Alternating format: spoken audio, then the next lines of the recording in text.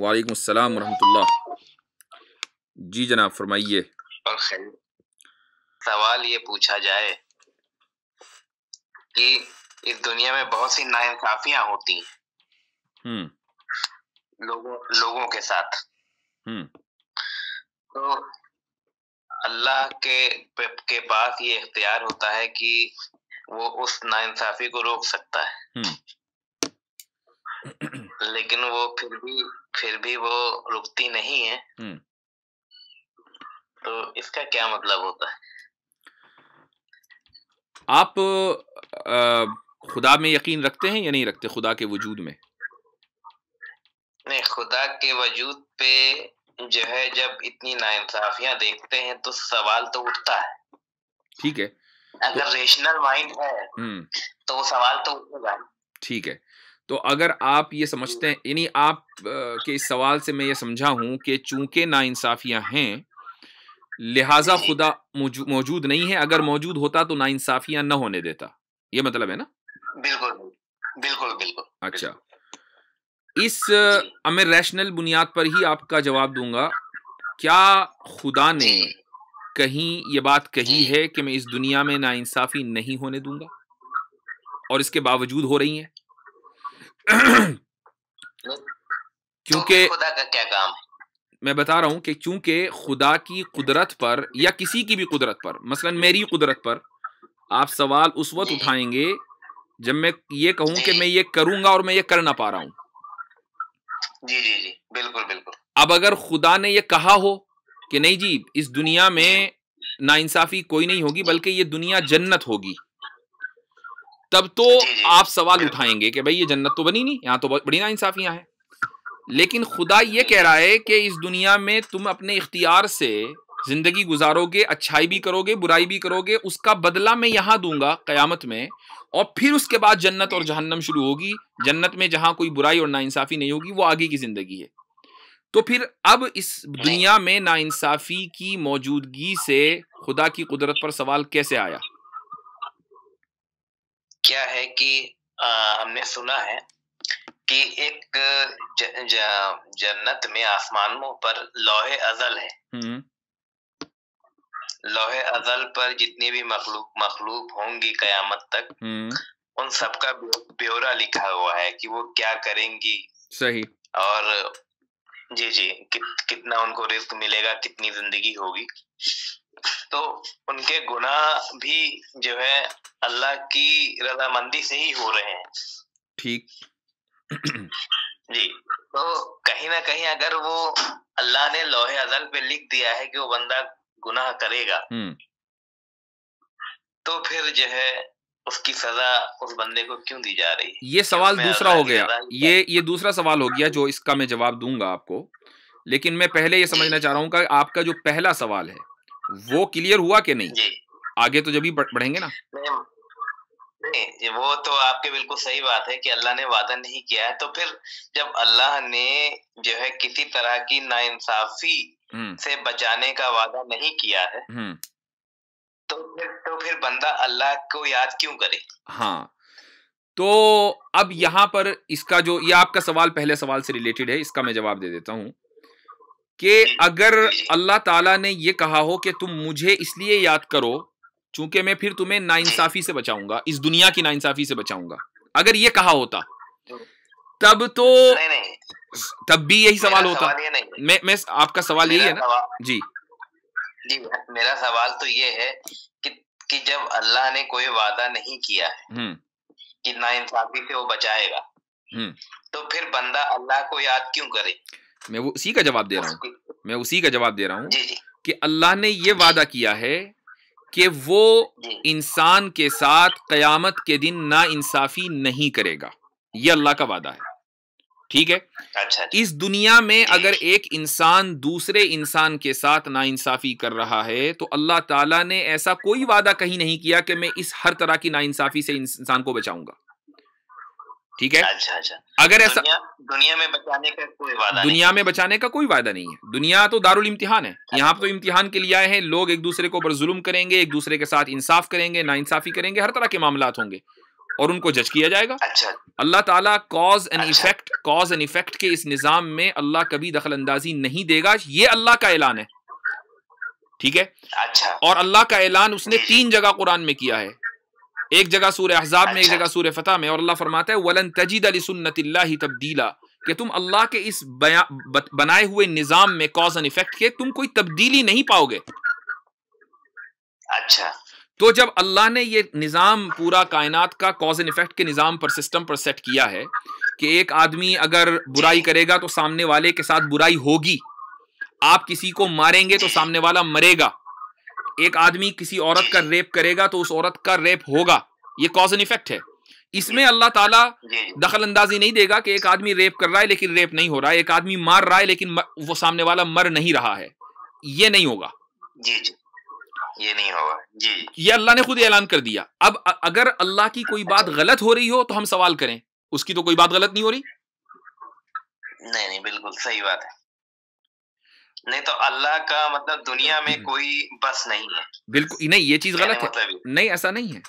अल्लाह का जो बस है वो ये है कि जो निज़ाम कॉज एंड इफ़ेक्ट का है वो तो उसी के बनाए हुए से चल रहा है ना। ये अगर किसी और ने बनाया होता तो आप ये कहते कि भाई अल्लाह का तो बस नहीं है। अगर ये निज़ाम खुद अल्लाह ताला ने ही इस दुनिया के अंदर नाफिज किया है कि कॉज होगा तो इफ़ेक्ट होगा तो ये अल्लाह ताला ही का बस है। ठीक है? इसी तरीके से जी, जी, अब मैं मैं इसकी एक और मिसाल दे देता हूँ आपको। मैं इसकी एक मिसाल देता हूँ ताकि आपको समझने में आसानी हो। अब देखिए इस कायनात के अंदर खुदा की मखलूक सिर्फ़ हम नहीं हैं और भी चीज़ें खुदा की मखलूक हैं। हमारे अलावा चाँद है सूरज है सितारे हैं वगैरह वगैरह। बादल हैं ज़मीन आसमान है। ये सारी चीज़ें खुदा की मर्ज़ी के मुताबिक चल रही हैं। सूरज निकलेगा तो खुदा की मर्ज़ी से ही निकल रहा निकल रहा है और जब तक कि खुदा चाहेंगे निकलेगा उसके बाद सूरज की भी लाइफ ख़त्म होनी है। लेकिन सूरज को अल्लाह ने इख्तियार नहीं दिया कि वो मसलन इरादा करे भाई कल नहीं निकलूँगा। ऐसा कोई इख्तियार सूरज के पास नहीं है। लेकिन अल्लाह ताला ने इंसान को इख्तियार दिया है। अगर वो ये कहे कि कल मैं अपनी जॉब पर या अपनी तिजारत पर नहीं जाऊँगा तो वो नहीं जाएगा। वो अपनी मर्ज़ी है उसकी। जी। तो ये इख्तियार देना एक को और दूसरे को इख्तियार न देना ये खुदा के ही करने से है। लिहाजा ये कहना कि खुदा का इस कायनात में कोई बस नहीं है ये गलत है। जी। उसकी तो ये कैसे साबित होगा कि ये खुदा की ही जो है वजह से हो रहा है? उसके लिए फिर अब आप तीसरे सवाल पर चले गए और वो सवाल ये है कि क्या खुदा मौजूद है? अगर खुदा मौजूद है और वो कादिर मुतलक है और वो इस कायनात का खालिक है। तो फिर ये उसी की वजह से हो रहा है इसके अलावा कोई दूसरी वजह हमें नज़र नहीं आ सकती ना हमें समझ में आ सकती है। हाँ अगर आप खुदा के वजूद को ही नहीं मानते तो फिर सवाल य- य- य- फिर फिर ये सवाल जो हम आप कर रहे हैं ये अब इरेलीवेंट हो गया। अब हमें सवा, सवा हमें जो बात करनी चाहिए वो खुदा के वजूद पे करनी चाहिए ना कि इस पर। नहीं देखिए क्या है कि एक नॉन बिलीवर अगर है हम्म। तो वो जो है खुदा की जो वजूद है हम्म।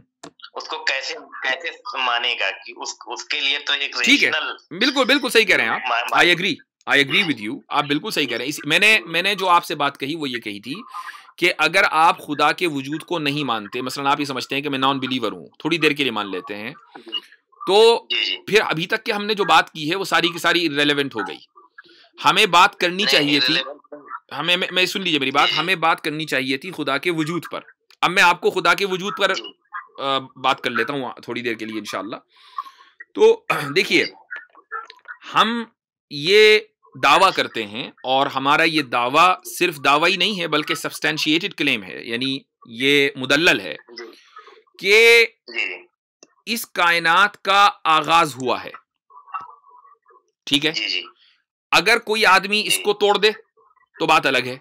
क्या आपके पास इसके खिलाफ कोई दलील है कि कायनात का आगाज़ नहीं हुआ है? बिल्कुल हुआ है। कायनात का आगाज़ हुआ है ठीक है। जिस चीज़ का आगाज़ हो उसका आगाज़ करने वाला भी चाहिए कोई ना कोई या नहीं? हम्म, हो सकता है। नहीं नहीं हो सक हो सकता नहीं ये ज़रूरी है। जी जी बिल्कुल सही बात है। अगर वरना फिर आगाज़ नहीं हो सकता। हाँ हाँ। ठीक? अब अगर कोई आगाज़ करने वाले इस कायनात जिसका आगाज़ हुआ है उसका कोई ना कोई आगाज़ करने वाला है तो हमें यह मानना पड़ेगा कि उस आगाज़ करने वाले का आगाज़ नहीं हुआ। जी। यानी वो जो प्राइम कॉज है उसका कोई कॉज नहीं है वो अनकॉज्ड कॉज है। हाँ। वो वो एक हाइपोथेटिकल सिचुएशन है वो मानना पड़ेगा आपको बिल्कुल सही बात क्योंकि अगर वो अगर वो कॉज जिसने इस कायनात को बनाया है उसका भी कॉज हो तो फिर उसका भी कॉज होगा फिर हाँ। उसका भी कॉज होगा और इसी तरीके से चलते रहेंगे आप और ये इसको बोलते हैं इन्फिनिट रीग्रेस और इन इन्फिनिट वो चेन रुकेगी नहीं और ये फैलसी है ये पॉसिबल नहीं है। तो कहीं ना कहीं आपको रुकना पड़ेगा।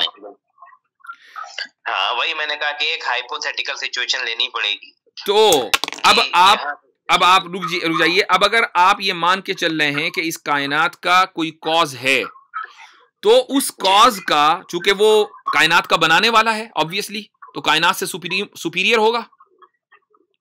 बिल्कुल बिल्कुल। ठीक है?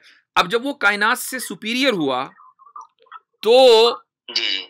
आ, उसके अंदर कॉन्शियसनेस भी होगा या नहीं होगा? हम्म, बिल्कुल होगा। अब देखिए आपके इस कायनात के कॉज में कॉन्शियसनेस भी है और वो सुपीरियर भी है। यही अल्लाह ताला की सिफात हैं। अल्लाह ताला ने कुरान में क्या कहा कि कुल अल्लाह अहद वो एक है। कॉज एक होगा दो नहीं होंगे। लम यलिद वलम यूलद वो खुद कहीं से पैदा नहीं हुआ होगा यानी उसका कोई कॉज नहीं होगा। वो इटर्नल होगा लम यलिद वलम यूलद। वलम यकुल्लहु कुफुवन अहद और नहीं उसका कोई हमसर होगा यानी वही बात के एक इस कायनात का कॉज एक ही होना है दो नहीं होने। तो कुरान ने जो खुदा का जो डिस्क्रिप्शन जो उस कॉज का डिस्क्रिप्शन बयान किया है वो एग्जैक्टली वही है जो मैं और आप इस वक्त बात कर रहे हैं। तो इसलिए खुदा के वजूद से कोई मफर नहीं है। ये मुमकिन नहीं है कि एक इंसान जो है खुदा के वजूद का के अलावा कोई दूसरा मॉडल पेश कर दे। ठीक? अब जब खुदा मौजूद है तो उसके पास कुदरत का होना ज़रूरी है। जी जी। अगर कुदरत नहीं होगी तो उसने कायनात पैदा कैसे की बगैर कुदरत के? जी अच्छा उसके पास इरादे का होना ज़रूरी है। अगर उसने अगर उसने इरादा नहीं किया तो फिर कायनात पैदा कैसे हुई? चूँकि किसी भी काम करने के लिए इरादे का होना ज़रूरी है। बिल्कुल बिल्कुल। तो उसके पास कुदरत भी हुई उसके पास इरादा भी हुआ। अच्छा जी। फिर उसके बाद किसी काम को करने के बाद, किसी मशीन को बनाने के बाद, एक इंसान जब कोई मशीन बनाता है तो ऐसा नहीं कि मशीन जो है अब वो बस बन गई, अब उसमें मेंटेनेंस की ज़रूरत ही नहीं है। नहीं, उसको मैनेज करना भी ज़रूरी है। आप अगर लैपटॉप बनाते हैं कंप्यूटर बनाते हैं तो आप उसको मैनेज भी करते हैं कि भाई एंटीवायरस वगैरह उसमें डाल देते हैं वायरसेस ना आए सिस्टम खराब ना हो। तो अल्लाह ताला ने भी इस कायनात को बनाया और इस कायनात के सर्वाइवल के लिए तदबीर ज़रूरी है तो अल्लाह ताला मुदब्बिर भी है। जी। तो अब मुझे बताएँ कि जब वो कादिर भी है मुदब्बिर भी है और इरादा करने वाला भी है तो फिर कायनात में उसी का तो दखल हुआ? किसका किसी और का दखल कैसे होगा? सही है। मान लिया। तो अब अगर आप इस चीज़ को मान रहे हैं तो और ये भी आप मान रहे हैं कि अल्लाह ताला ने ये नहीं कहा कहीं भी ये वादा नहीं किया कि इस कायनात में सिर्फ़ सुकून होगा इस दुनिया के अंदर हम्म। सिर्फ़ और सिर्फ़ इंसाफ होगा कोई आदमी किसी पर जुल्म नहीं कर पाएगा।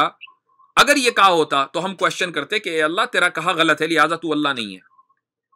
लेकिन अल्लाह ये कह रहा है कि मैं तुमको आजमाऊँगा तुम्हारी माल और औलाद में कमी करके। तुम्हारी औलाद माल में भी कमी होगी तुम्हारी औलाद में भी कमी होगी। जब ये कह रहा है अल्लाह तो माल में कमी बराह रास्त डायरेक्ट भी हो सकती है और किसी के ज़रिए भी हो सकती है। जब कोई दूसरा आपके माल में कमी करेगा आप पर जुल्म करके तो जुल्म होगा। जी जी। ये तो अल्लाह ताला ने खुद ही ऐलान कर दिया। हाँ लेकिन अल्लाह ने जन्नत के बारे में ये कहा कि लाखौफुन अलैहिम वलाहुम यहजनून के न उन पर खौफ होगा वहाँ पर और न ही वो कभी गम में होंगे। वहाँ पर कभी कोई जुल्म नहीं हो सकता। तो अगर हम जन्नत में होते और हम पर जुल्म हो रहा होता तो हम क्वेश्चन करते अल्लाह से। हम दुनिया में हैं यहाँ जुल्म भी है इंसाफ भी है।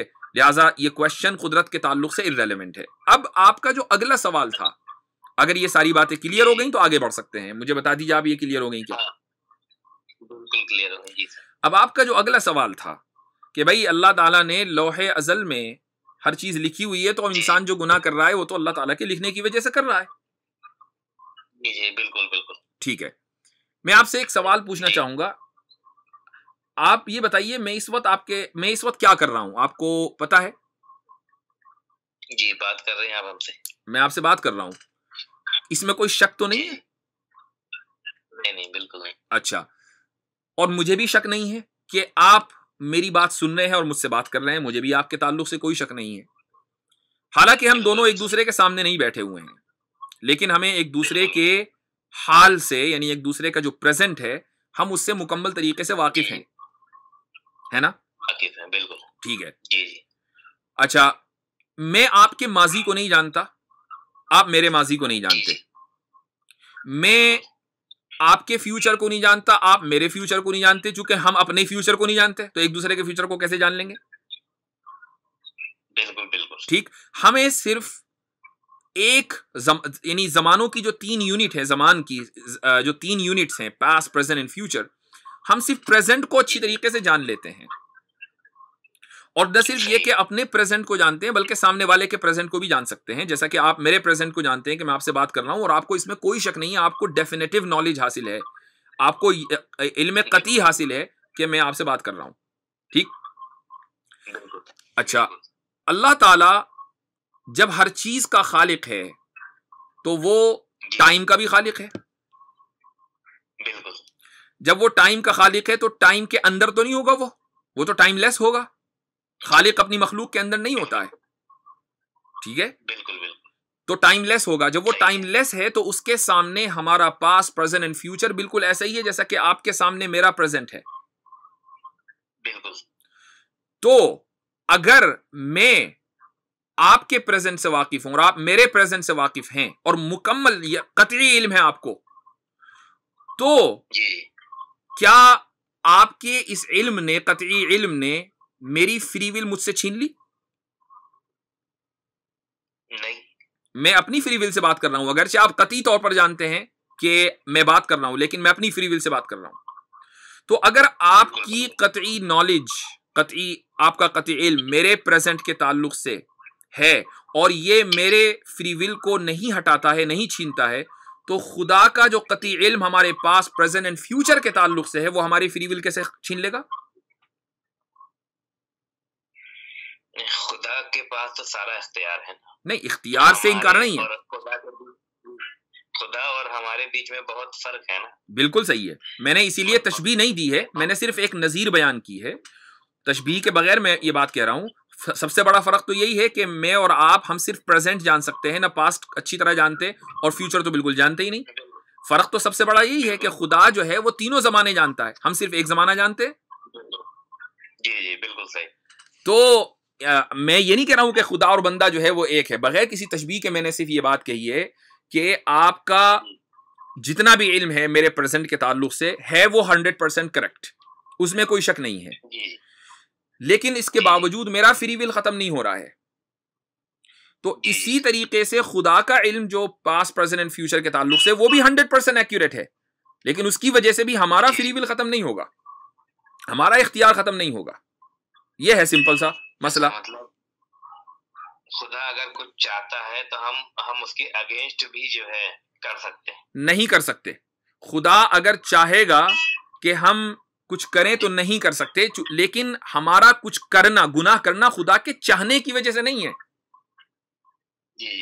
ये लोग ये असल में आम लोगों में ये गलत फहमी है कि इंसान जो गुनाह करता है चूँकि कोई भी चीज़ होती है वो खुदा की मर्ज़ी से होती है लिहाजा हमने जो गुनाह किया वो भी खुदा के चाहने और उसकी मर्ज़ी से हुआ। तो हमारा क्या कसूर? ये चीज़ लोगों की गलत फहमी है। मैं बताता हूँ कि खुदा की मर्ज़ी से मुराद क्या है। खुदा की मर्ज़ी यह है कि आपको इख्तियार मिले।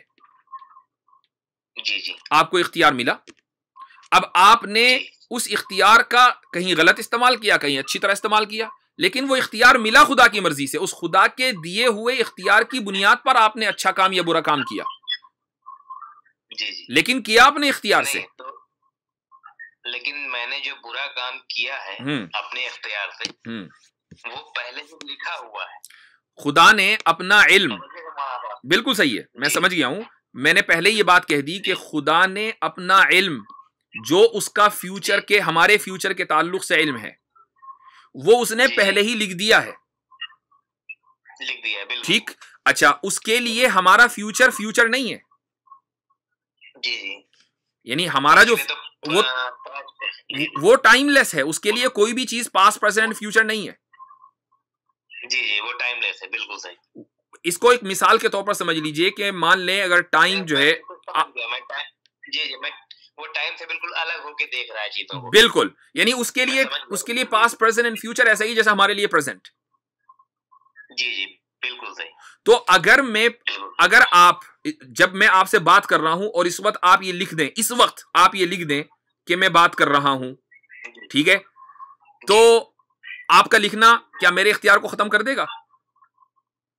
नहीं। बिल्कुल नहीं। तो ऐसे ही खुदा ने फ्यूचर तो हमारे लिए है खुदा तो टाइमलेस है। खुदा ने अगर कोई चीज़ लिख दी है अपने इल्म के एतबार से कि उसके इल्म में ये है मेरे इल्म में अगर कोई बात होगी और मैं उसको लिख दूँ तो भी आपका इख्तियार खत्म नहीं होता। तो इसी तरीके से अगर अल्लाह ताला के इल्म में कोई बात है और वो लिख दे तो हमारा इख्तियार कैसे खत्म होगा? मतलब वो जो लोहे अदल पे लिख दिया है वो भी गलत हो सकता है। मैंने अगर हम अपना इख्तियार से जो नहीं आप इस चीज़ को नहीं समझ रहे हैं। मैं ये समझाने की कोशिश कर रहा हूँ कि आपका इस वक्त का जो इल्म है क्या ये गलत हो सकता है जब मैं आपसे बात कर रहा हूँ? क्या ये गलत हो सकता है? नहीं नहीं बिल्कुल आप मुझसे बात कर रहे हैं ये मुझे इल्म है। अच्छा जब आपका ये वाला इल्म गलत नहीं हो सकता इसके बावजूद मैं अपने इख्तियार से बात कर रहा हूँ तो फिर खुदा का इल्म कैसे गलत होगा? खुदा का इल्म बिल्कुल सही है बिल्कुल सही। खुदा का इल्म जो है हमारे प्रेजेंट पास्ट और फ्यूचर को लेकर बिल्कुल सही है। बिल्कुल सही है वो गलत नहीं होगा जैसे एग्जैक्टली exactly, जैसे आपका इस वक्त का इल्म गलत नहीं होगा। मौलाना साहब जो हम भी हम जो कुछ भी फैसले लेंगे वो खुदा की मर्ज़ी से लेंगे। खुदा के नहीं मैं मैं यहाँ यहाँ आपको रोकता हूँ। ये जो खुदा की मर्ज़ी है ना इसी ने सबसे ज़्यादा कंफ्यूजन फैलाया इस जुमले ने। मर्ज़ी से अच्छा। मुराद क्या है? खुदा के दिए हुए इख्तियार से लेंगे। और ये चीज़ ये, हाँ और ये चीज़ कुरान में लिखी है। कुरान में अल्लाह ताला कहता है वमा तशाऊन इल्ला अल्लाह। कि तुम जो कुछ चाहते हो वो इसलिए चाहते हो कि अल्लाह ने चाहा कि तुम चाहो। जी जी यही तो मैं बता रहा हूँ मौलाना साहब यही तो मेरा सवाल है। हम्म। कि अगर मैं जो है कुछ गलत कर रहा हूँ तो अल्लाह चाह रहा है कि आप कुछ गलत करें। नहीं अल्लाह ये नहीं चाह रहा है कि आप गलत करें। अल्लाह ये चाह रहा है कि आप अपने इख्तियार से करें जो कुछ करें। जी जी बिल्कुल सही। अब आप अपने अल्लाह ने लोहे अदल पे लिख दिया है हम्म। कि मैं कुछ गलत ही करूँगा। तो अब जो अल्लाह का अल्लाह का इख्तियार ये हमारे इख्तियार से कहीं ज़्यादा बड़ा है हम्म। अब जो अल्लाह ने लोहे अदल पे लिखा हुआ है मैं उसको बदल नहीं सकता हम्म। मुझसे वो काम हो के रहेगा हम्म। तो मुझसे जो भी बुराइयाँ होंगी वो पहले लिखी जा चुकी है और जो चीज़ पहले ही लिखी जा चुकी है तो उस बात की सजा फिर फिर अल्लाह क्यों देगा मुझे? मेरे भाई वो पहले और बाद में तो मेरे और आपके लिए है ना? अल्लाह के लिए तो पहले और बाद में है ही नहीं। जी बिल्कुल सही। जब अल्लाह को हमने टाइमलेस मान लिया तो ना अल्लाह के लिए पहले ना बाद में? जी बिल्कुल सही। तो ये टाइमलेस का मतलब ये हुआ कि Allah already knows everything timeless का मतलब ये है कि अल्लाह के लिए अल्लाह जो है जमाने का टाइम का पाबंद नहीं है वो टाइम बाउंड नहीं है कि उसको हम ये कहें कि अल्लाह फला सम, फला सन में था फला सन में नहीं होगा वो टाइम बाउंड नहीं है। उसके सामने ये ऐसा ही है जैसे कि एक कागज़ के ऊपर आप तीन कॉलम बनाएँ एक कॉलम के ऊपर आप पास लिखें दूसरे पे प्रेजेंट तीसरे पे फ्यूचर और उस कागज़ को आप अपनी टेबल पे रखें तो आप तीनों कॉलम्स को एक साथ देख रहे होंगे। ठीक है? तो ऐसे ही अल्लाह ताला ने ये शीट ऑफ़ टाइम बनाई है। इसमें पास्ट है प्रेजेंट है फ्यूचर है। और अल्लाह ताला तीनों जमानों को एक साथ देख रहा है। उसके लिए कोई ऐसा नहीं है कि ये पहले था या बाद में था। सब एक सा, एक चीज़ एक, एक तरह सामने है। तो ये क्वेश्चन हाँ तो ये क्वेश्चन कि भाई अल्लाह ताला ने जब पहले से एक चीज़ लिख दी तो फिर मैं उसको कैसे बदलूँगा? ये पहले से लिखने तो जब होगा ना जब अल्लाह के लिए पहले और बाद में हो। जी। अल्लाह के लिए पहले और बाद में है ही नहीं तो अल्लाह के लिए नहीं है लेकिन बंदों के लिए तो है बंदों को तो ये बताया जा चुका है ना कि लोहे अजल है उस पर सब कुछ लिखा जा चुका है। हम्म। ये बात ये बात तो आप मानेंगे ना। बिल्कुल मैं मान रहा हूँ इस चीज़ से इनकार नहीं है। मैंने इसीलिए उस आपको दो तीन मरतबा इससे पहले मिसाल दी है कि मैं अगर मुझे आपके ताल्लुक से मैं दोबारा आप आपको गौर से सुनिएगा मैं क्या कह रहा हूँ। आप अपनी इस नॉलेज को कि मैं आपसे बात कर रहा हूँ। इस वक्त आपकी जो नॉलेज है ये हंड्रेड परसेंट एक्यूरेट है कि मैं आपसे बात कर रहा हूँ। इस नॉलेज को आप कागज़ पर लिख दीजिए कहीं कि भाई आ, यासिर नदीम मुझसे बात कर रहे हैं। ठीक है ये आप लिख दीजिए। तो अगर इस लिखने की वजह से मेरा इख्तियार क्या खत्म हो जाएगा? बात कर। जी नहीं नहीं बिल्कुल नहीं खत्म होगा। आप मैं, मैंने लिख दिया है। जी बिल्कुल सही। आपका कहने का मतलब ये है कि मैंने लिख दिया लेकिन इससे ये नहीं हुआ देखिए प्रेजेंट में तो अब जो वक्त निकल गया हम्म। तो मैंने लिखा हुआ है हम्म। तो अब ये तो बदला नहीं जा सकता कि हम्म। आप मुझसे उस वक्त बात कर रहे थे और। मैंने लिख दिया है। कि फला टाइम आप हमसे बात कर रहे थे तो अब ये तो नहीं बदला जा सकता अब हाँ इख्तियार ये है कि आगे शायद आप हमसे बात ना करें बिल्कुल। या फ़ोन काट दें। बिल्कुल। ये आपके इख्तियार में। वो ये ये मेरे इख्तियार में है और आपको नॉलेज नहीं है। जी ये मुझे नॉलेज नहीं है बिल्कुल सही। आपको नॉलेज नहीं है लिहाजा आप अगर लिखेंगे भी तो वो गलत हो सकता है। जी जी क्योंकि मैं खुदा नहीं हूँ। आप खुदा नहीं मान लीजिए आप कागज़ में लिखें कि अब से पाँच मिनट के बाद यासिन नदीम अलवाजदी मुझसे बात करेंगे और मान लो मैं बात ना करूँ तो आपका लिखा गलत हो जाएगा। बिल्कुल गलत हो जाएगा। लेकिन आप खुदा नहीं है आपको तो सिर्फ़ प्रेजेंट मालूम है फ्यूचर तो आपको मालूम ही नहीं है खुदा को तो तीनों मालूम है। खुदा को तीनों मालूम बिल्कुल। बिल्कुल। तो इसमें मुझे बताइए कि कौन सी चीज़ रैशनैलिटी के खिलाफ है? अभी तक की जितनी बात हुई है। नहीं रेशनल तो यही है कि यही पूरी बात इरेशनल लगती है देखिए जो चीज़ पहले पहले लिखी जा चुकी है तो वो तो बात बिल्कुल सही है। अब जो बंदे गलत करेंगे इसका मतलब वो चीज़ तो पहले लिखी जा चुकी है। फिर वही बात हो गई। अब उसमें अल्लाह पहले और बाद में कब? मैंने बाद में कहा पहले ही कहा कि वो पहले और बाद में अल्लाह के लिए नहीं है वो मेरे और आपके लिए है। हाँ। हम बिल्कुल बिल्कुल। ये जो भी हाँ, काम करेंगे वो अपने इख्तियार से करेंगे। बज़ाहिर ये चीज़ देखें तकदीर का जो मसला है ना ये है बहुत आसान। थोड़ा सा इसमें जहन लगाना पड़ता है कोई मुश्किल नहीं है। लेकिन मुझे एक बात बताइए कि खुदा की कोई भी सिफत कोई भी सिफत हो क्या हम मुकम्मल तरीके से समझ सकते हैं? नहीं। नहीं समझ सकते। क्योंकि अगर हमने खुदा को मुकम्मल तरीके से समझ लिया तो खुदा महदूद हो गया। जी जी। और खुदा महदूद नहीं है। जी जी। ठीक? तो उसकी किसी भी सिफत को मुकम्मल तरीके से नहीं समझा जा सकता। ये रैशनली प्रूवन है। यानी ये कोई ऐसा नहीं है कि कोई एक्सक्यूज है हमारी तरफ़ से ये रैशनली प्रूवन है कि खुदा की किसी भी सिफत को मुकम्मल तरीके से नहीं समझा जा सकता। मसलन खुदा जो है मसलन मसलन खुदा जो है वो आ, इरादा करता है। अब सवाल ये कि कैसे इरादा करता है? वो क्या चीज़ है उसके पास? मसलन हमारे पास इरादा करने के लिए दिमाग है। दिल है। खुदा के पास क्या है हमें नहीं पता। तो बताइए कैसे समझे कि खुदा इरादा कैसे करता है? तो ऐसे ही कुदरत जो है तकदीर जो है वो खुदा की सिफत है। जिस तरह खुदा की दूसरी सिफात को मुकम्मल तरीके से नहीं समझा जा सकता खुदा की इस सिफत को भी मुकम्मल तरीके से नहीं समझा जा सकता हाँ ज़्यादा से ज़्यादा थोड़ा बहुत समझा जा सकता है जो मैंने आपको समझाने की कोशिश की है। बिल्कुल बिल्कुल। नहीं नहीं आप बिल्कुल सही कह रहे हैं मौलाना साहब। ये लेकिन सवाल नॉन बिलीवर के लिए फिर वही रहेगा कि जो चीज़ समझी नहीं जा सकती। तो हम उसे सच माने या ना माने? आपने आप उसको खुदा का नाम दे सकते हैं। आपने मेरी बात नहीं समझी। लेकिन मैंने ये नहीं कहा। नहीं नहीं नहीं नहीं नहीं वो आ, मैं देखिए अल्फाज बहुत अहम होते हैं। मैंने ये नहीं कहा कि खुदा को नहीं समझा जा सकता। मैंने ये कहा कि खुदा को मुकम्मल नहीं समझा जा सकता। हाँ मुकम्मल तौर पे उन्हें नहीं समझा जा सकता हम्म। अब जो समझी ही नहीं जा सकती है। मुकम्मल मुकम्मल का लफ्ज साथ में बोलिएगा। जी जी मुकम्मल नहीं समझी जा सकती। उसको लेकर तो कंफ्यूजन हमेशा बना रहेगा। नहीं ऐसा नहीं है।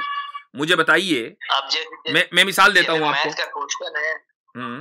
मैं मैं मिसाल दे देता हूँ आपको। मैं मिसाल दे देता हूँ कि इस दुनिया को बाहर जाने की ज़रूरत नहीं है। इस दुनिया के को क्या हमने मुकम्मल तरीके से समझ लिया? नहीं अभी नहीं समझा। अच्छा हम हम समंदर की तहों में चले गए। लेकिन अभी तक समंदर की तहों में क्या रास पिन्हा है? अभी तक के हम वही नहीं समझे। बिल्कुल बिल्कुल। अभी हम नहीं समझे। बिल्कुल सही। ठीक है? लेकिन इसके बावजूद हमें दुनिया के मौजूद होने का यकीन है कि नहीं? हमें यकीन है कि समंदर मौजूद है? दुनिया मौजूद है। हालाँकि हम मुकम्मल नहीं समझ रहे हैं। हाँ लेकिन हमें पता है कि समंदर है। समंदर है समंदर मौजूद है। तो इसका मतलब ये हुआ कि किसी चीज़ को मानने और जानने के लिए उसका मुकम्मल तौर से समझना ज़रूरी नहीं है। मुकम्मल तौर से समझना अगर वो जो है उसका कुछ पार्ट हमें दिख रहा है हम्म। मौजूद है टेंजिबल हम्म। है हम्म। तब तो हम उसको मान सकते हैं। अब जैसे मोबाइल है अब ये कैसे वर्क करता है शायद हमें ना मालूम।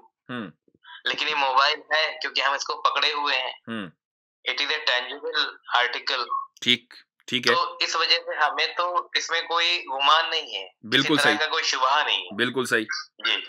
क्या किसी चीज़ को जानने के लिए उसका देखना ज़रूरी है? आप क्या ये समझते हैं कि नहीं मैं जब मानूँगा जब मैं देखूँगा? क्या ऐसा कोई कायदा है? बिल्कुल किसी चीज़ को जो है आ, उसका कॉज उसका जो इफ़ेक्ट है। अगर हम वो चीज़ नहीं देख पा रहे हैं तो। उसका इफ़ेक्ट तो मुझे महसूस होना चाहिए ना। ठीक है मैं दो मैं हवा है हवा हाँ, ठीक है बिल्कुल सही। लेकिन हवा चलती तो महसूस होगी सब एटॉमिक पार्टिकल्स आपने देखे कभी? नहीं।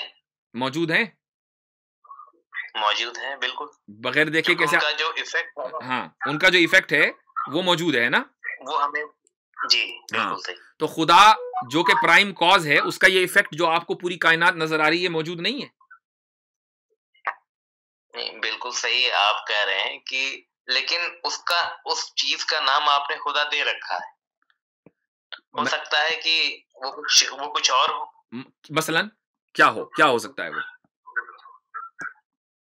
आ, जैसे ये जो जो कुछ भी है। एक नेचर इसको कह सकते हैं। It is just a nature. अच्छा। और दुनिया घूम रही है तो उसका भी एक ये है कि बिग बैंग थ्योरी है कि कैसे दुनिया चीज़ें अलग हुई।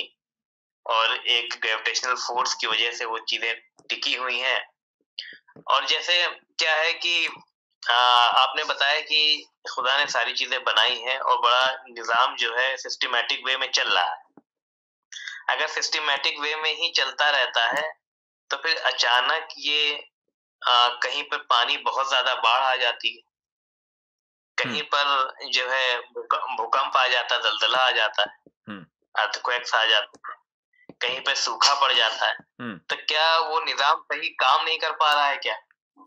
दो सवाल आपने किए हैं मैं पहले पहले सवाल का जवाब दे देता हूँ। आपने ये कहा कि नहीं खुदा न कहकर नेचर है शायद ये है ना जो इस कायनात को जिसने बनाया है। नेचर से मुराद आपके लॉज ऑफ़ नेचर है ना? जी जी बिल्कुल। तो लॉज ऑफ़ नेचर अच्छा बाई प्रोफेशन आप क्या है थोड़ा सा जान सकता हूँ? मैं जॉब करता हूँ। हाँ। अब मैं वैसे मैं एलएलबी हूँ। एलएलबी है बस इसीलिए इसीलिए मैंने आपसे पूछा। दैट्स ग्रेट मुझे बताइए कि किसी लॉ के लिए लॉ गिवर का होना ज़रूरी है या नहीं? बिल्कुल है। तो लॉज ऑफ़ नेचर के लिए लॉ गिवर क्यों ना हो? हम्म, बिल्कुल होना चाहिए। जब सारी दुनिया के हर यानी हम किसी ऐसे कानून को का तस्वुर ही नहीं कर सकते कि जिसका कोई बनाने वाला ना हो। तो लॉज ऑफ़ नेचर का हम क्यों तस्वुर कर रहे हैं कि इनका बनाने वाला नहीं है? जी। ठीक? नहीं हम बिल्कुल देखिए मैं उस देखिए सवाल ये था कि मैं उस वजूद से इनकार नहीं कर रहा था। वज़ू सवाल एक्चुअली क्या थोड़ा सा शायद मैं कैसे करें मैं समझा नहीं पा रहा था। हम्म। क्या था कि जैसे आ, हम खुदा को बहुत गफूर रहीम कहते हैं। हाँ। लेकिन लेकिन क्या सच में वो गफूर रहीम है? ये सवाल आपने नहीं किया था मुझसे। आपने सवाल ये कहा ये हाँ। किया था कि आपने उसको खुदा कह दिया वो नेचर भी तो हो सकता है जिसने कायनात को बनाया है। तो मैंने उस पर कहा कि भाई नेचर से मुराद अगर आपकी लॉज ऑफ़ नेचर हैं तो लॉज ऑफ़ नेचर के लिए कोई ना कोई लॉ गिवर होना ज़रूरी है। बिल्कुल सही। तो लॉज ऑफ़ नेचर इस कायनात का खालिक नहीं हो सकता वरना एक आदमी का वरना ये मानना पड़ेगा कि किसी चीज़ ने अपने आप को खुद बनाया है। जी जी बिल्कुल सही। और कोई चीज़ अपने आप को खुद नहीं बना सकती। बिल्कुल बिल्कुल। लॉ गिवर इज़ खुदा लॉ का कहने का मतलब ये है। जी। लॉ गिवर खुदा है। मैं मैंने आपसे पूछा कि खुदा के अलावा आपके पास कोई और ऑप्शन हो तो वो बताएँ। आपके पास आप इंसानियत के पास कोई दूसरा ऑप्शन है ही नहीं। ठीक? कोई दूसरा ऑप्शन अब आपने ये कहा दूसरा सवाल आपने ये किया था कि भाई ये कायनात में हम कहीं बाढ़ देखते हैं कहीं कुछ देखते हैं और कहीं क्या खुदा का निज़ाम सही तरीके से नहीं चल रहा है? आपने ये सवाल किया था। जी बिल्कुल बिल्कुल। आपको याद होगा कि आज अभी कॉन्वर्सेशन में शुरू में मैंने एक बात कही थी कि खुदा ने इस कायनात को कॉज एंड इफ़ेक्ट के निज़ाम पर बनाया है है ना? जी जी। अच्छा। क्या कहीं अगर बाढ़ आती है जलजला आता है तो उसके पीछे कोई ना कोई कॉज होता है या नहीं होता? बिल्कुल होता है सही बात है। तो मुझे बताइए खुदा के निज़ाम में गड़बड़ी कहाँ हुई? हाँ सही है। आपकी बात बिल्कुल सही है इस पे एग्री करेंगे मैं उसकी एक मिसाल देता हूँ। हाँ ये ज़रूर है कि एक माइनर माइनर कॉज कैंसिल होकर जो मेजर कॉज है वो एक्टिव हो जाता है। मैं इसकी मिसाल देता हूँ। मिसाल ये है कि इंटरवेंशन होता है सही बात मैं मैं उसकी एक मिसाल सुन लीजिए ताकि आप आसानी रहे। मसलन आप अगर आग में कूद जाएँ तो आग आपको जला देगी चूँकि आग जो है वो कॉज है जलाने का। ठीक है? बिल्कुल बिल्कुल। लेकिन अगर आप फायर रेजिस्टेंट सूट पहनकर आग में कूद जाएँ जी जी। तो अब आपको आग नहीं जलाएगी। क्यों? बिल्कुल आग तो जलाने वाली है क्यों नहीं जला रही है? वो इसलिए नहीं जला रही है कि जो बिगर कॉज है वो एक्टिव हो चुका है। और वो बिगर कॉज ये है कि आपके जिसम पर फायर रेजिस्टेंट सूट है। बिल्कुल सही। तो जो माइनर कॉज होगा वो कैंसिल हो जाएगा उसका इफ़ेक्ट हम्म, सही है मौलाना मौलाना साहब। तो बात जो लब्बो अब ये निकला और काफ़ी मुतमिन किया आपने इसके लिए बहुत बहुत शुक्रिया।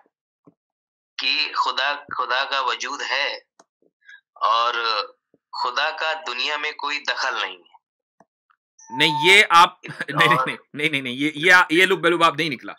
खुदा का वजूद है और खुदा का इस दुनिया में मुकम्मल दखल है।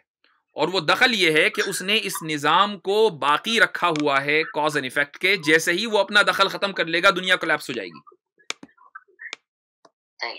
देखिए खुदा ने लॉ कुछ बना दिए हम्म।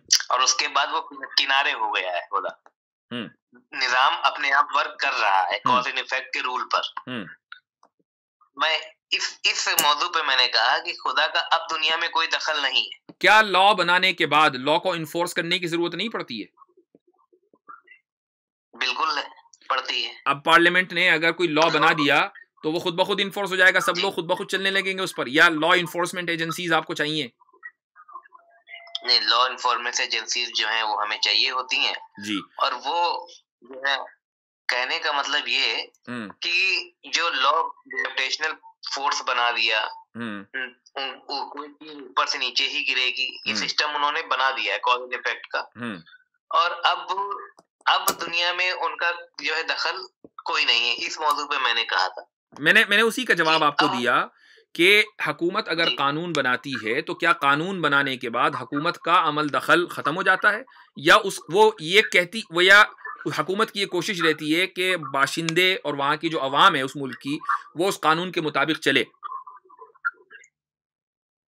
हाँ, हुकूमत की तो कोशिश रहती है बिल्कुल। के मुताबिक चले। तो हुकूमत का इख्तियार और, और उसका अमल दखल उसकी उस मुल्क में बाकी रहता है अगरचे कवानीन और कवानीन ही नहीं बल्कि कॉन्स्टिट्यूशन भी बन गया है। कॉन्स्टिट्यूशन भी बना हुआ है और कॉन्स्टिट्यूशन की रोशनी में लॉज भी बने हुए हैं।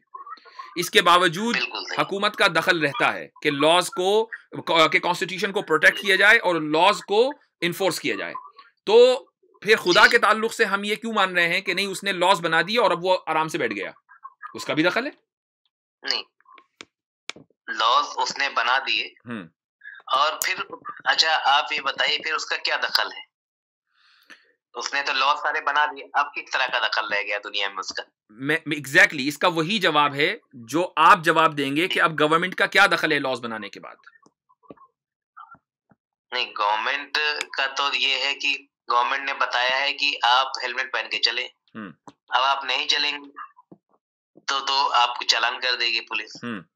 अब अल्लाह ताला ने कहा है कि आप जो है किसी का माल ना छीने हम्म। और अगर आप छीन लेते तो अल्लाह ताला कुछ नहीं करेंगे। अल्लाह ताला कुछ नहीं करेंगे ये कहाँ से साबित हुआ? दुनिया में दुनिया दुनिया में नहीं करेंगे। हो सकता है दुनिया में भी करें हमें मालूम नहीं है। क्या एक बात बताएँ कि एक आदमी के साथ कोई बुरा होता? है। सुन लीजिए मेरी बात। एक आदमी के साथ कोई चीज़ बुरी होती है तो ये भी तो हो सकता है कि ये बुराई उसके किसी गुनाह का नतीजा हो जो उसने माजी में कभी किया हो लेकिन उसको अब अंदाज़ा नहीं है। लेकिन ये उसकी गुनाह का नतीजा हो ये भी हो सकता है। जो बुराई उसके साथ हुई बच्चा आज जी जी। बच्चे के बारे में नहीं कह रहा हूँ मैं मैं एक आम बात कर रहा हूँ और मैं ये नहीं कह रहा हूँ कि ऐसा होता है हर एक के साथ। ऐसा हो सकता है कह रहा हूँ। बच्चे के साथ कुछ नहीं होता। बच्चे ने कोई गुनाह नहीं किया। पाँच साल का बच्चा है। दो साल का बच्चा मान लीजिए उसने कोई गुनाह नहीं किया। नहीं पाँच साल का भी कोई गुनाह नहीं करता है। हाँ। पाँच साल की बच्ची है हम्म। और उसके साथ रेप हो जाता है। ठीक है। तो आ, ये अगर गवर्नमेंट है तो तो वो कुछ एक्शन लेगी। हम्म। लेकिन अल्लाह क्या एक्शन लेगा?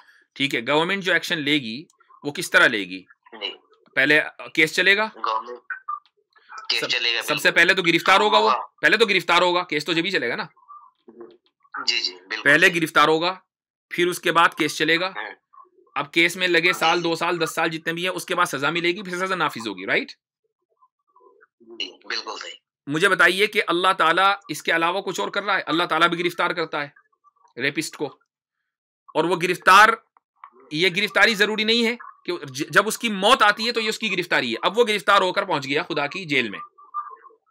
उस पर केस चलेगा? ये तो ये ये ये तो ये चीज़ें तो बिलीवर के लिए नॉन बिलीवर कैसे इस चीज़ को माने? क्या मौत हकीकत नहीं है? नहीं मौत तो हकीकत है। ठीक है। वो तो जो है सभी की आनी है। वो तो लिविंग बीइंग है कोई भी कोई भी लिविंग बीइंग है वो तो मरेगी। सही। नेचुरल है। तो अब आपका सवाल ये है कि हम ये कैसे माने कि मरने के बाद खुदा के पास ही पहुँचेंगे? इंसाफ कायम होगा। ये कैसे माने? नहीं नहीं मेरा मेरा सवाल तो मरने से सारे सवाल मेरे मरने से पहले के ओके।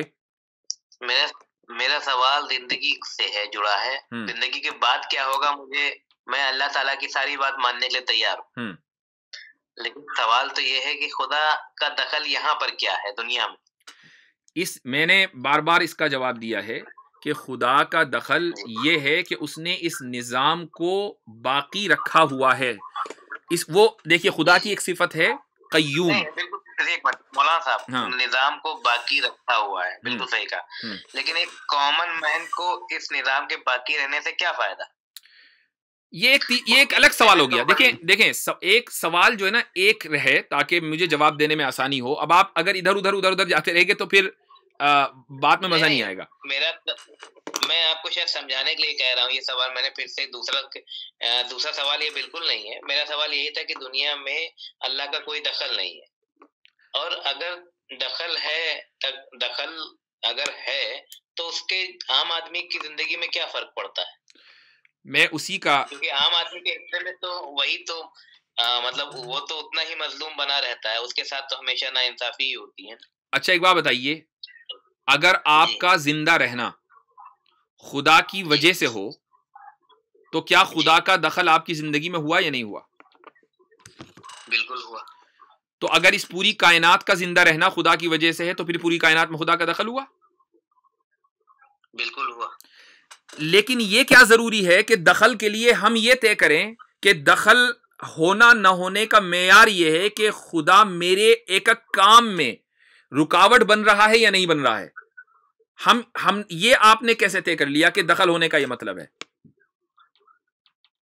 तो फिर क्या है कि दखल होने का मतलब सिर्फ़ ये है कि अल्लाह ताला ने इस निज़ाम को बनाया वो इस निज़ाम को चला रहा है उसी तरीके से उसी उसी सिस्टम के मुताबिक जिस सिस्टम के मुताबिक उसने इस निज़ाम को बनाया। यानी इस निज़ाम का बाकी रहना इसका सर्वाइवल ये खुदा के दखल से है।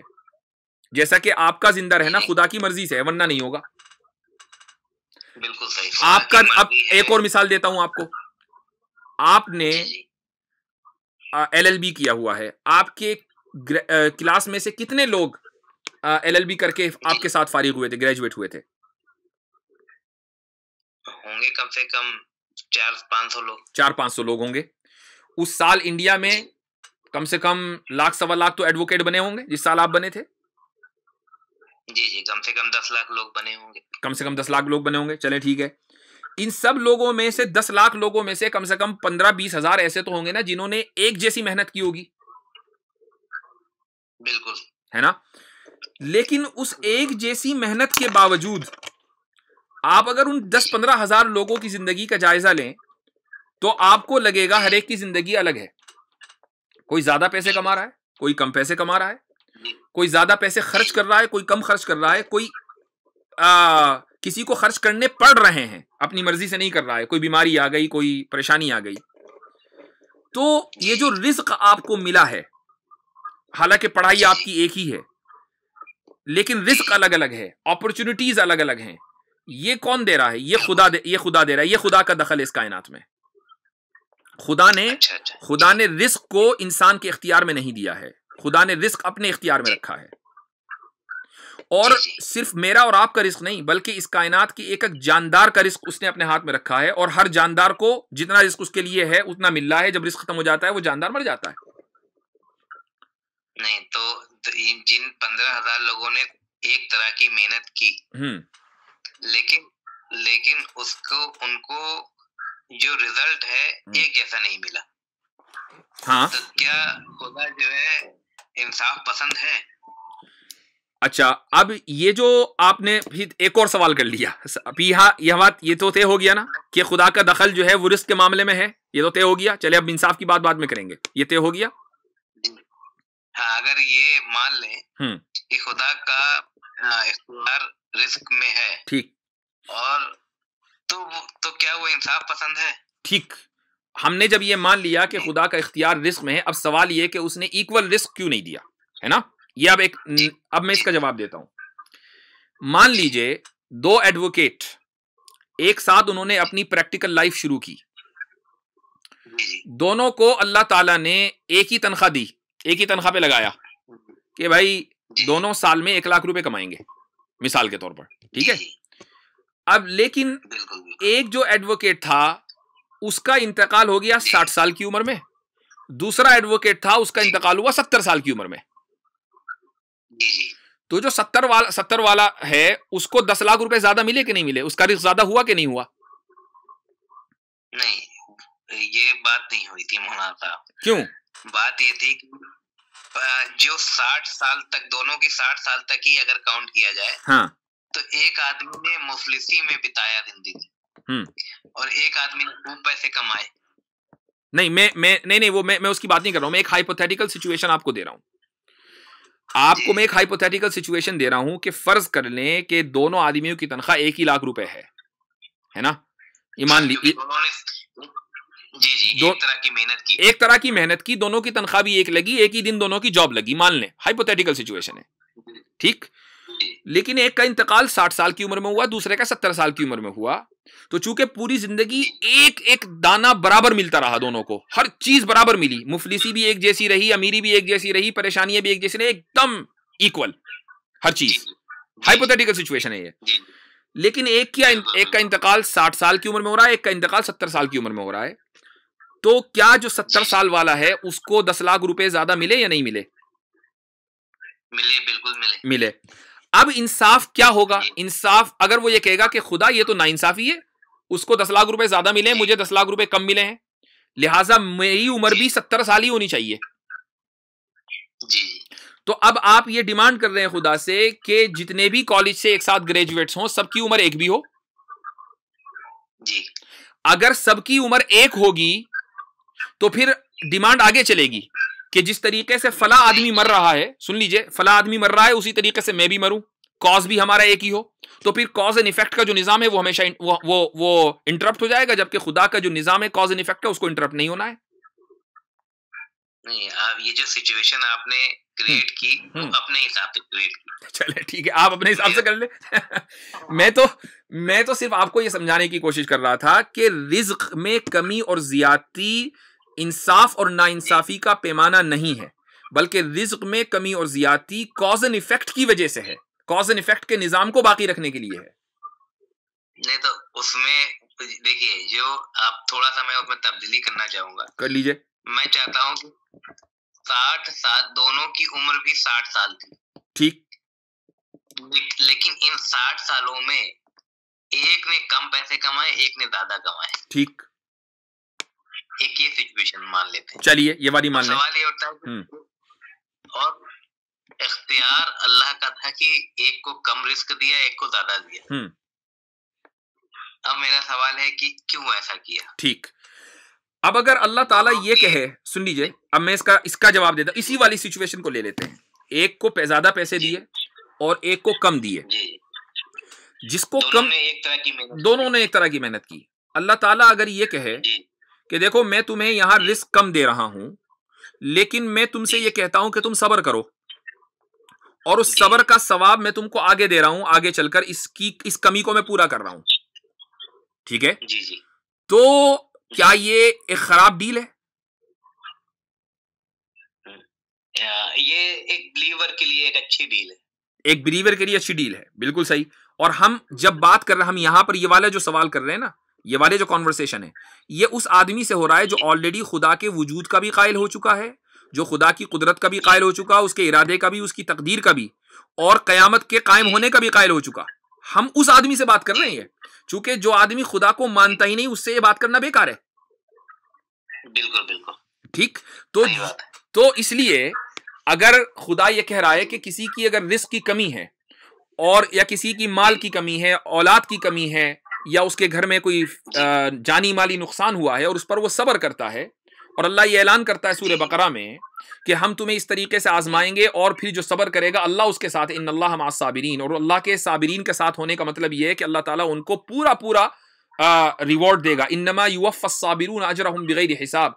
अल्लाह ताला फरमाता है कि बगैर हिसाब के अल्लाह अल्लाह ताला साबिरीन को पूरा पूरा देगा, उसकी कोई हिसाब नहीं होगा, इतना देगा। तो मुझे बताइए कि एक आदमी जो खुदा को मानता है क़यामत को मानता है खुदा की कुदरत को मानता है उसके लिए ये खराब डील नहीं है बल्कि इससे बेहतर कोई डील हो नहीं सकती। बिल्कुल बिल्कुल सही बात है। मुतमिन कर दिया आपने। चले अल्हम्दुलिल्लाह। जी।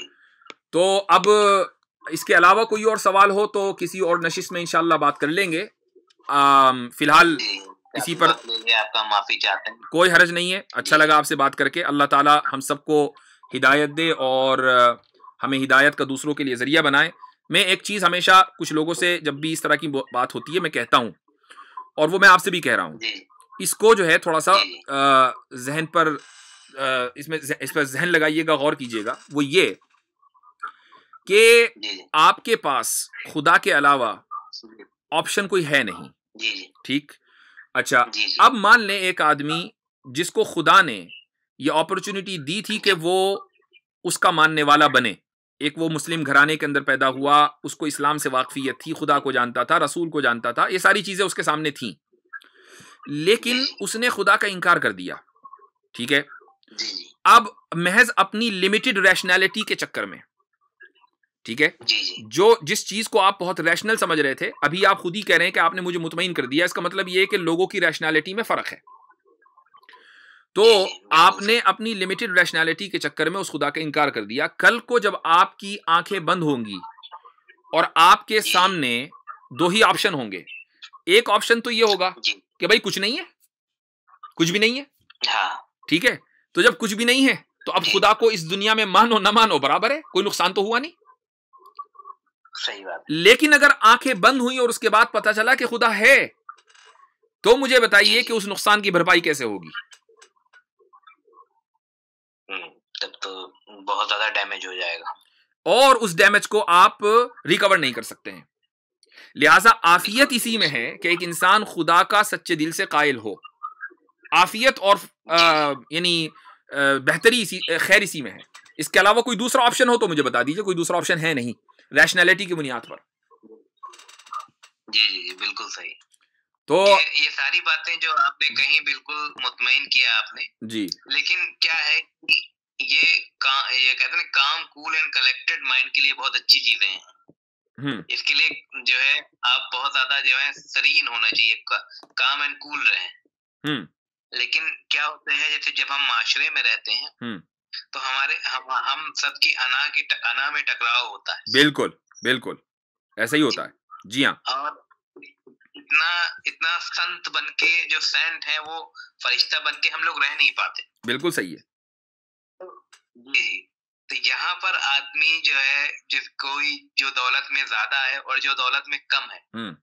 उनकी जब अना में टकराव होता है तो ये सारी बातें जो है कहीं ना कहीं बेसलेस हो जाती वो आदमी को घूम फिर के बात सिर्फ़ दौलत पे ही आ जाती। बिल्कुल सही आप आपने बिल्कुल सही जगह आप पहुँचे हैं लेकिन हमें ये भी तो देखना चाहिए ना कि दौलत का जो लालच है जी। और जो अना जिसको आप कह रहे हैं अना ये कोई अच्छी क्वालिटी तो है नहीं? नहीं बिल्कुल अच्छी क्वालिटी नहीं है तो एक आप आप हाँ। इसके वजूद से इनकार नहीं नहीं नहीं हम हम ये नहीं कह रहे बिल्कुल बिल्कुल एक बहुत बड़ी चीज़ है पॉइंट ये है कि एक खराब क्वालिटी जो है वो हमारा फ्यूचर आखिरत हमारी तय करे। हमें उस खराब क्वालिटी से बचना चाहिए ना कि उस खराब क्वालिटी को अपने ऊपर हावी कर लेना चाहिए। सही है। वही तो मैंने एक चीज़ इसके लिए बहुत ज़्यादा काम एंड कूल होने की ज़रूरत है। एक चीज़ और चाहिए न सिर्फ़ ये कि कॉम एंड कूल होना एक चीज़ की और ज़रूरत है। और वो है ऑनेस्टी ईमानदारी। वो ईमानदारी दूसरों से नहीं अपने से। देखिए अपने से बिल्कुल। कैसे? एक बात बताएँ कि क्या दुनिया में कोई ऐसा आदमी मौजूद है तो जो ये दावा करे कि मैं सब कुछ जानता हूँ? नहीं। दुनिया में कोई भी आदमी ये नहीं कह सकता कि मैं सब कुछ जानता हूँ। सब कुछ जानता हूँ कोई नहीं है। लेकिन जो आदमी ये कहता है कि हाँ अब जो आदमी ये कह रहा है कि देखो मैंने रैशनैलिटी की बुनियाद पर खुदा के वजूद पे गौर किया मैंने जन्नत जहन्नम के वजूद पर गौर किया मैंने आखिरत के वजूद पर गौर किया लेकिन मुझे तो समझ में नहीं आया मुझे तो सब गलत लगता है। तो इसका मतलब यह है कि वो ये दावा कर रहा है कि वो खुदा और गैब के ताल्लुक से सब कुछ जानता है हालाँकि वो जानता नहीं है। तो बताइए वो ऑनेस्ट कहाँ रहा अपने साथ? बिल्कुल सही। तो बुनियादी तौर पहले तो अपने आप को ऑनेस्टी आपके अंदर लानी पड़ेगी कि भाई नहीं मैं सब कुछ नहीं जानता हूँ। मुझे अगर शक है, देखिए मैं आपको बता दूँ कि हम लोग इसी फ़ील्ड में रहते हैं, अल्लाह ताला की तौफीक से दिन रात कुरान हदीस में रहते हैं। लेकिन ऐसा नहीं है कि हमारे जहनों में सवाल नहीं आते हैं। लेकिन अल्लाह ताला का लाख लाख करम है कि जब हमारे जहन में कोई सवाल आता है तो हम फौरी तौर पर जहन में ये ख्याल और ये सवा, ये चीज़, ये अकीदा रिन्यू करते हैं कि हमें मालूम नहीं है, इसलिए सवाल आ रहा है। और हो सकता है कि मैं अगर रिसर्च करूँ थोड़ी सी तो मुझे सवाल का जवाब मिल जाए और आप यकीन नहीं करेंगे कि बाज़ मरतबा हफ़्ता बाज़ मरतबा दस दिन बाज़ मरतबा दो चार महीने और कभी कभी साल डेढ़ साल भी लगे हैं मुझे उस सवाल की तलाश करने में और उसका जवाब मुझे मिल गया इस तरीके से मिला कि मैं मुकम्मल तौर से मुतमिन हो गया क्योंकि मैंने अपनी ऑनेस्टी को नहीं छोड़ा। बिल्कुल बिल्कुल। सही सही। तो सही तो चले ठीक है बहुत अच्छा लगा आपसे बात करके अल्लाह ताला आपको हिदायत दे सबको हिदायत का ज़रिया बनाए शुक्रिया बहुत बहुत बिल्कुल बिल्कुल। बहुत बहुत शुक्रिया मौलाना साहब।